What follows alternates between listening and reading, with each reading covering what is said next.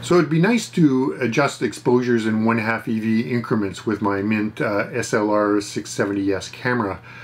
Unfortunately, the camera can only make full shutter speed adjustments, one EV at a time. So there's no real ability to select in between speeds. And while most manually controlled cameras allow f-stops to be set in half or a third stop increments, the original SX70 camera that Mint refurbishes has a fixed f8 aperture, more or less fixed f8 aperture. In other words, there's no control over the aperture at all.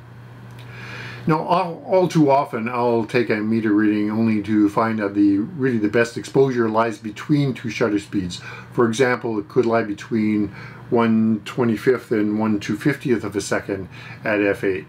And because I can't change the aperture, I'm forced to choose either the lower shutter speed, which will result in a slight overexposure, or the higher shutter speed, which is might result in a darker picture than I really wanted.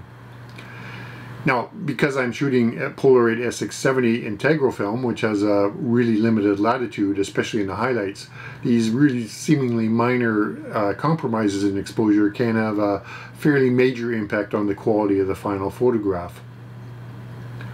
However, not everything is lost. Uh, I have sort of been working on a workaround that will allow uh, minus one half EV settings. A quick side about EVs, since I'll be using the term quite a lot in what follows.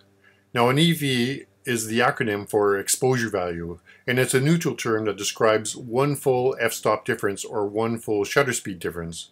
For example, EV plus 1 describes changing an aperture setting from, say, f8 to f5.6, or the shutter speed setting from 1 500th of a second to 1 250th of a second. Either of these would achieve an EV plus 1 exposure change. What I do is I mount a uh, cheap uh, variable neutral density filter or VND filter over the lens and I preset it to minus one and one half EV then I set the shutter speed on the camera to minus 1 EV and the net result is that I will have a minus 1 half EV exposure change.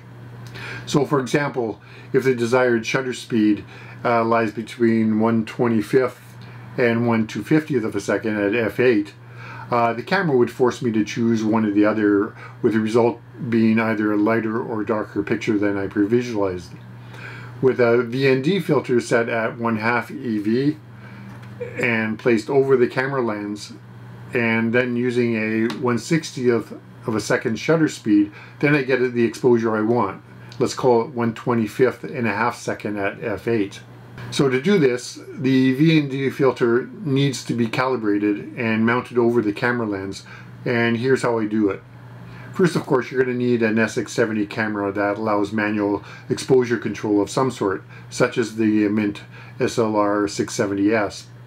Now this uh, modified vintage uh, SX70 folding camera and its attached time machine uh, allows me to have control over the shutter speeds. Now you're also going to need a custom filter holder to hold the VND filter over the camera lens. What I recommend is the retrograde, retrograde engineering SX37 filter lens adapter, quite a mouthful. It's basically a very simple 3D printed plastic clip uh, with a metal 37 millimeter filter holder attached to it. So what you do is you just slip it over the edge right here and you can see that the filter uh, holder itself is right over the top of the camera lens. Now this is a pretty simple piece of kit, but it's so useful that I really think it should be uh, in, it, in the camera bag of anybody using a folding Polaroid SX70 camera. So I can attach 37 millimeter filters uh, directly to the filter mount, but there's a much wider range of 40.5 millimeter filters filters out there. So what I do is I use a 37 to 45 millimeter step-up ring and that just screws in nicely into the front of the filter there so what you should note is that filters larger than 40.5 millimeter are likely to uh, interfere with the hinged flap on the folding camera. Uh, this means, for example, that the popular 49 millimeter filters are going to be way too large and are going to press down too much on this uh, camera flap if they will fit on at all. There are a number of 40.5 millimeter variable neutral density filters available. What I use is an inexpensive Vivitar 40.5 millimeter variable NDX filter with an advertised 1 to 10 f-stop uh, reduction range. For the time being, you're not going to need the camera. That's strictly for taking the pictures, but you will need the, the filter holder, the step-up ring, and of course your variable ND filter. Um, and you're also going to need a light table. And all this is so that you can calibrate your, your variable neutral density filter. Now I'm using here a uh, Artograph light uh, pad that I happen to have kicking around. Uh, if you don't have one of these, then maybe try to find a piece of translucent white plastic and place a light underneath it so you could light it from below, create your own sort of uh, temporary uh, light table.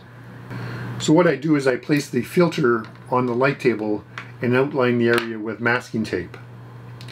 And what this does is it helps me define a specific area that helps ensure that I will be getting consistent light readings. So what I do is I start by taking a light meter reading of the masked off area. Uh, you can use a spot meter, you probably should use a spot meter such as the Pentax Spot Meter 5 or a spot meter app on your iPhone. Uh, and this is so you'll get a good reading inside the fairly tight 40.5 uh, millimeter circle that you've outlined. So the free Lumu Light Meter app uh, works pretty well for this particular project, for this purpose, because it allows precise EV readings. Now what you want to do to set it up, first of all, you can just ignore all the usual meter settings that we have here, the, the aperture, the shutter speed, and the film speed, they don't really matter. All you're really after is this EV reading that we see eh, at the top. And to set it up, what you want to do is, first of all, hit the gear icon, go to general settings, and then make sure you select continu continuous measuring, such I have as I have here. Then go back and click on the spot metering, and this is your spot metering setup and hit the little filtering area which is right up here and then scroll down and make sure that you have the show EV setting checked as I have here. And then just go back to your spot meter setting make sure that you're reading inside of the square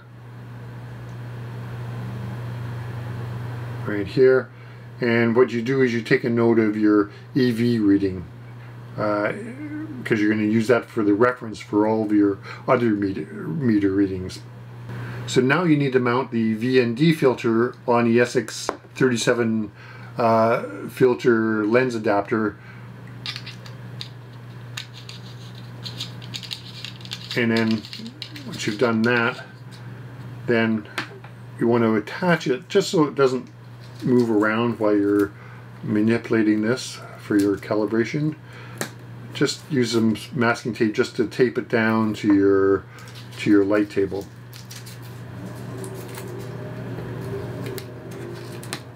Again, just so it doesn't move around and it sort of centers your filter over top of that area that you've outlined on your light table.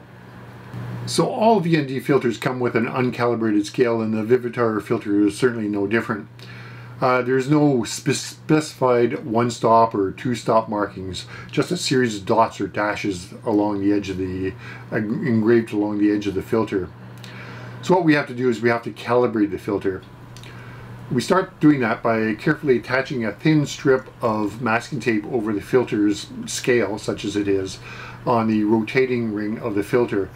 Now it's easier to do this while the filter and the camera mount is taped to the light table, so I I attach my one half inch masking tape over the ring, stretching from the maximum to the minimum marks on the filter and the actual words and symbols used are going to vary depending on the filter you're, you are using.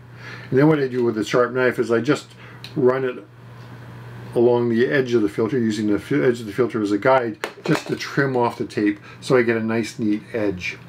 So next what I do is I take a meter reading while slowly rotating the filter ring and what I want to do then is get a reading, an EV reading right here that is 1.5 EV lower than the bare light table reading.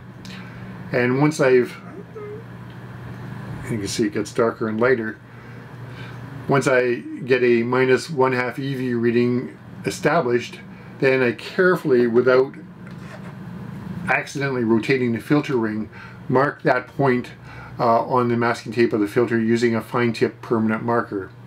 Now on my Vivitar VND filter there's a small triangle imprinted on the filter's fixed ring and the 1.5 mark should be exactly under that triangle.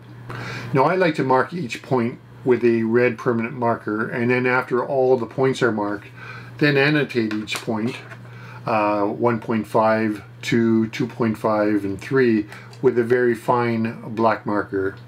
So now what I do is I locate the minus 2 EV location using exactly the same approach.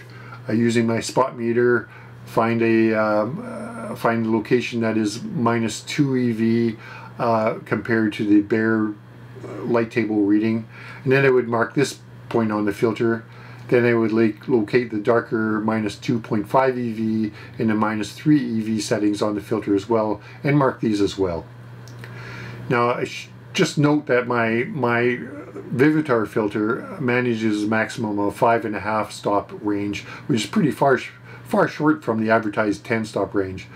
And I certainly couldn't eke out a minus one EV setting. Now perhaps other filters or perhaps a more expensive VND filter and you can spend a lot of money on VND filters um, such as the 40.5 millimeter B&W SX Pro Digital ND Vario filter, that kind of filter might do better. Uh, if you do happen to find a filter where, especially if you can get a minus one EV reading uh, on it, uh, then by all means let everybody know. You can put it in the comments below and uh, that would be certainly helpful to know. In the meantime, I'm just going to stick with my uh, Vivitar filter. Uh, it's a cheap $20 filter and it suits me fine. Anyways, that's it. Uh, now you can go off and take some pictures with your calibrated filter at half EV settings. So here's how it works in practice. First of all, take a meter reading of a subject and if that ideal exposure happens to lie between shutter speeds, let's say between 1 250th of a second and 1 500th of a second for this example, then what I would do is I would attach the 37X filter holder and mount my calibrated VND filter, which I've already done here, and I'd mount it to the camera. Then I would set my VND filter to its minus 1.5 setting, so in other words, the 1.5 red dot would go across from the triangle on my on my uh, Vivitar filter. Then I would take a, a note of the slower of the two shutter speeds uh, that are bracketing my ideal exposure and then I would set the shutter speed on my camera to an additional shutter speed slower. So for example, in this case the slower of the two shutter speeds is 1 250th of a second. So I, what I would do is I would set the camera shutter speed then to 1 25th of a second and that would then give me a, a, a net minus one half EV exposure with both the VND filter and the shutter speed setting. So if you wanted to take a bracketed set of photos, uh, then what I would do is set the VND filter to its 2 setting, and then take a second photo, and that would be my minus 1 half EV picture, and then I would remove the filter and filter holder entirely, and then set the shutter speed to the slower shutter speed of my bracketed shutter speed. So that would be 1 125th of a second in this example. And then it would take a third photo which would be my plus one half EV photo. So I'd have one. My first one would be at my ideal exposure the second one would be a slightly darker at minus one half EV and the third one would be slightly slightly lighter at plus one half EV Lastly, to avoid damaging your camera, what you want to do is remove the filter holder before you fold it up. So here's two uh, quick examples of the VND filter in action. Now, this interior photo was taken in a contrasty windowsill location with a bit of fill light. Now in this case the first exposure taken at 1 250th of a second was pretty much exactly what I wanted. Now the second photo taken at 1 500th of a second which is minus 1 EV was way too dark. And a third photo taken with my VND filter set to the 1.5 EV setting at 125th of a second sort of straddles the, the two. Now laying out all three of the photos side by side shows that the VND filter is giving me a credible 1 half EV exposure difference. And although I still prefer my first exposure, the minus 1 half EV is taken with my VND filter is certainly a viable alternative. Certainly more viable than the minus 1 EV exposure. So it works quite well with that, again, with the limited latitude of the Polaroid uh, integral film.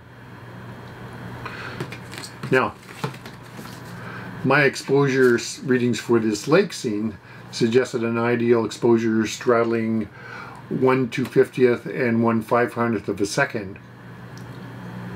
Now, using my VND filter set to the 1.5 setting and a 125th of a second shutter speed, I was able to achieve pretty much my ideal exposure.